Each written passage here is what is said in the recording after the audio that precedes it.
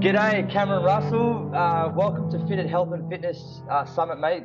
Welcome on board. My name is Liam Zollo, the host. It's a pleasure to have you on board, mate. Um, I actually just wanted to share a story with you how, how I met you for the first time.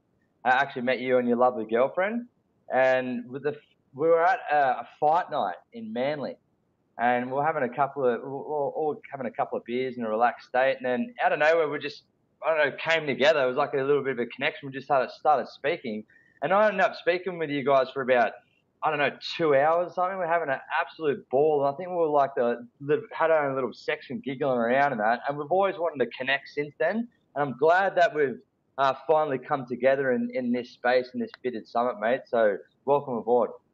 Mate, uh, thanks for having me, Liam. I mean, yeah, it's probably it was a funny way that we did meet, and uh, you know, I think that one beer or one conversation turns into a couple of hours of, of, of conversations, a few laughs, and a bit of a sore head in the morning. So that is good.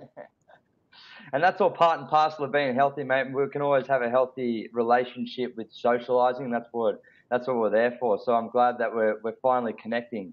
So, mate, just wanted to share with you now. Just share with the with the audience out there. Who are you, and and uh, and where do you work in the fitness industry? Yeah, so I mean, as you said, my name's Cameron Russell. Um, I own Snap Fitness in Maitland, which is in the Hunter Valley, New South Wales, so just near Newcastle.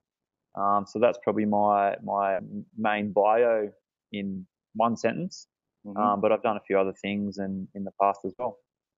Yeah, cool. So how did you enter into the industry then, in, into the Snap Fitness world or in the industry in general?